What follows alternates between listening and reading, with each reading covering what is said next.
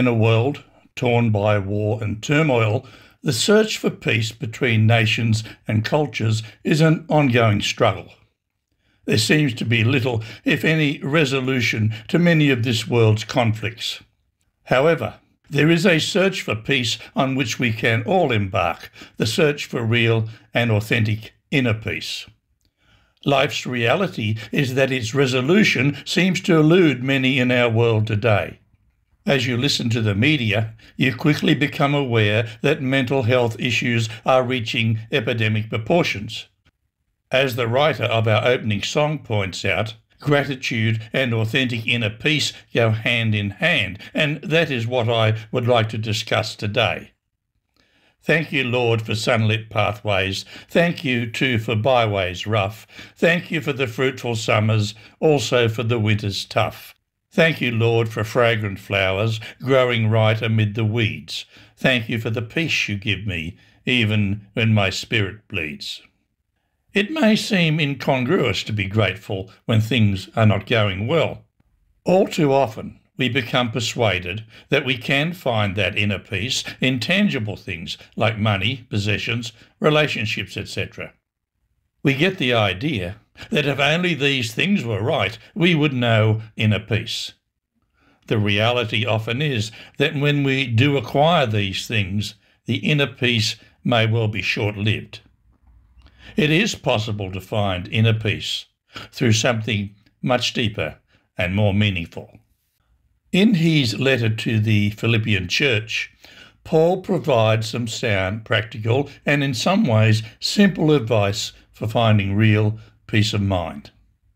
I suspect that it is in the nature of human beings to overlook advice that seems simple and look for more complex solutions in finding peace of mind. It is common for people to turn to substance abuse in an effort to achieve peace through chemical means. However, that usually leads to more mental health issues, and the complexity of the problem increases until it seems almost insurmountable. Rejoice in the Lord always. Again I will say, Rejoice. Let your gentleness be known to all men. The Lord is at hand. Be anxious for nothing, but in everything by prayer and supplication, with thanksgiving, let your requests be made known to God. And the peace of God, which surpasses all understanding, will guard your hearts and minds through Christ Jesus. No doubt when Paul uses the word peace, he has in mind the Jewish word shalom, of which our direct English translation is totally inadequate. The word encompasses more than just the absence of strife. When Jewish people wish each other shalom, they are expressing the idea of peace, well-being, restoration, reconciliation with God, and salvation in the fullest sense. It is a sense of wholeness, completeness, security, and fulfillment that comes from God and is dependent on Him.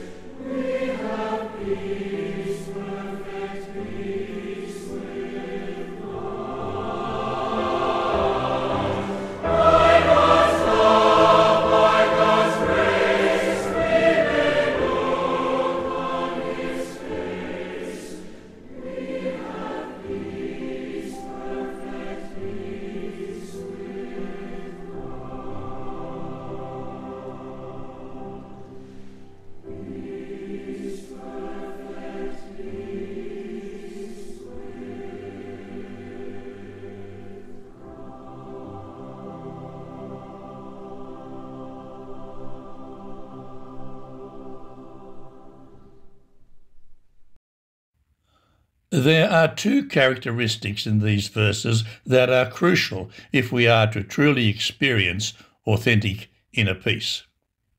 There may be a priority here in that we need to develop an attitude of gratitude to resolve anxiety. Paul sees a thankful and grateful attitude as the key to inner peace. Gratitude is one of Paul's main themes in his letters, with over 30 references to it. One of the keys Paul discovered was a mindset of thanksgiving. In everything, give thanks, for this is the will of God in Christ Jesus for you. His core attitude, that which was volitional and a central part of his being, was a positive attitude of always being grateful. I suspect that very few of us are just born that way. However, we can choose to embrace such a core attitude, being thankful rather than being constantly discontented. Being dissatisfied, which focuses on ourselves, is easier than being thankful, which focuses outside ourselves. It may well be that discontent is a human tendency, whereas thankfulness is a core attitude we choose to embrace. There is a sense in which core attitudes are chosen and learnt rather than bestowed by birth or nature. If we grow up in a critical family, we will learn that mindset as we grow through the years. When we consciously develop a thankful attitude, we voluntarily embrace and develop a positive outlook on life. Paul's advice in Philippians 4 6 is a framework for our lifestyle and an antidote to our fears. Its basis is open and honest communication with God. However, the basic human reaction to difficult and threatening situations is fear rather than prayer. To react to such situations with prayer is probably a learned reaction rather than a natural human response. One of the serious failings of our prayer life is that of constant request. Paul says our prayer life must be balanced if we are to alleviate our fears and worries. There is a duality here of which we need to take note. Tell God what you need and thank Him for all He has done. A balanced prayer should include both requests and thanks.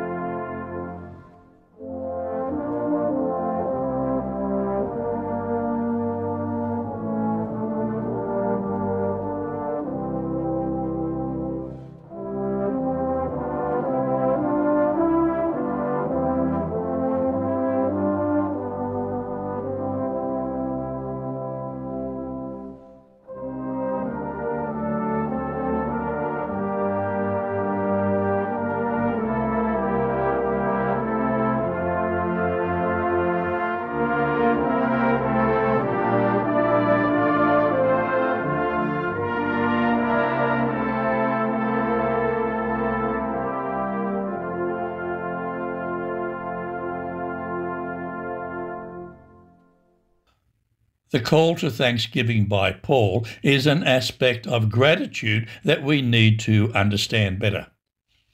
Our thanks include gratitude for both the good and the bad, for the positives and the negatives. There are times when we feel that God has not answered our prayers in accordance with our interests.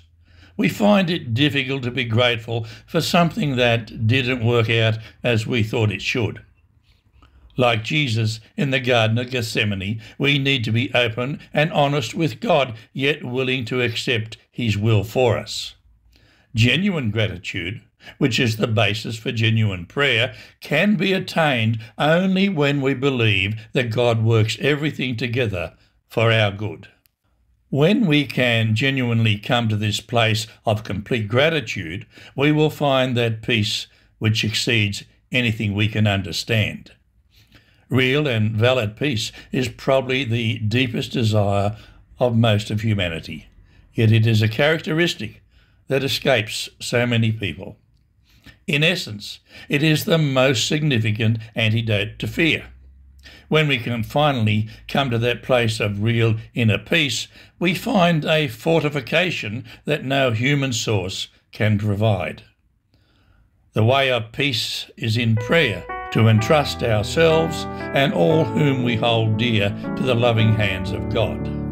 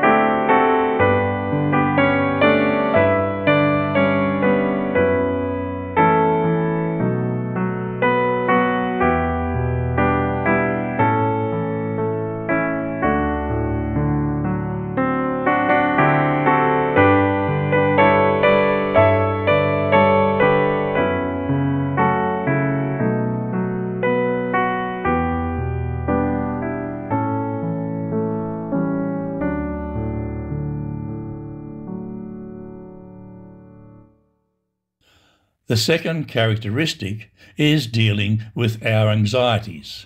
In itself, anxiety can be helpful in preparing us for the challenge of daily living. However, in today's world, excessive anxiety can be a real danger to our well-being. In this 21st century high-tech world, we can be overwhelmed. We are bombarded with news and information from all angles, much of it negative. Social media has become an integral part of our lives, but it can also be a source of great anxiety. Despite the many ways technology enables us to connect with others, many people still feel isolated and disconnected, leading to anxiety and depression. Social commentator Hugh Mackay, in a lecture at the University of New South Wales on the 30th of January 2017 said, We are a society in the grip of epidemics of anxiety, obesity, and depression. 20% of Australians experience some form of mental illness. Anxiety is one of the great diseases of our time, some of it brought on by information overload, the ready accessibility of information instantly available via electronic media, much of it which we probably do not need to know. Nothing robs a person of peace like anxiety and worry. Having said that, we are all conscious that it is a huge challenge to completely and utterly trust God and to be led by Him in all circumstances.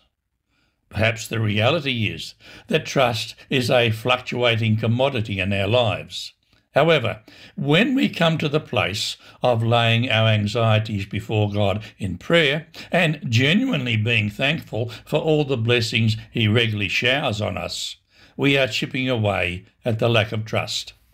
Is there a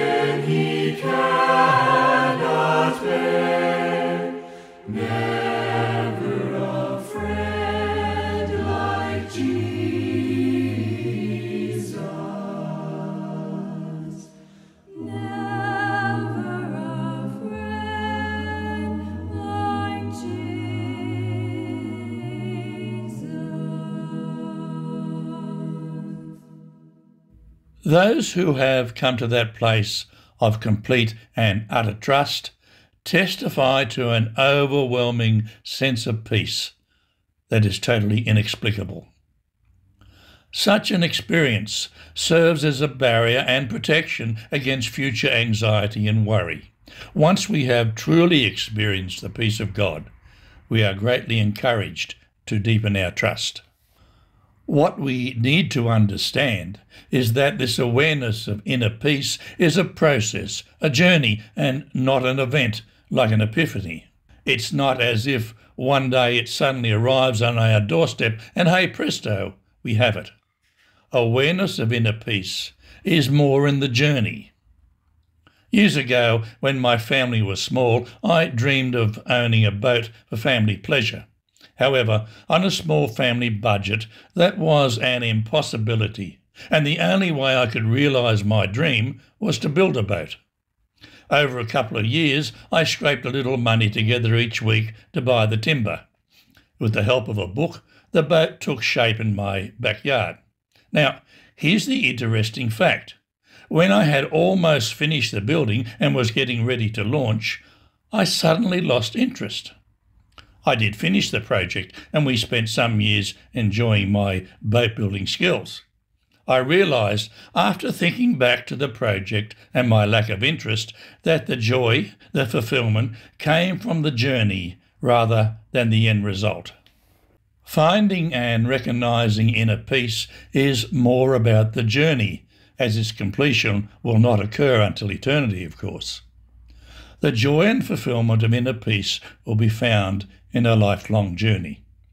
This is where, hour by hour, day by day, and year by year, inner peace incrementally grows. There can be no doubt that Paul was spot on in his formula for inner peace. Be anxious for nothing, but in everything by prayer and supplication with thanksgiving let your requests be known to God, and the peace of God, which surpasses all understanding, will guard your hearts and minds through Christ Jesus. Anxiety is the thief of inner peace, and the key to inner peace is always found in being grateful mentally, physically, psychologically, and spiritually. The peace of God which passes understanding shall keep our hearts and minds in Christ our Lord. No dread shall dwell within, no hidden worry, no lingering fear a fretful heart afford.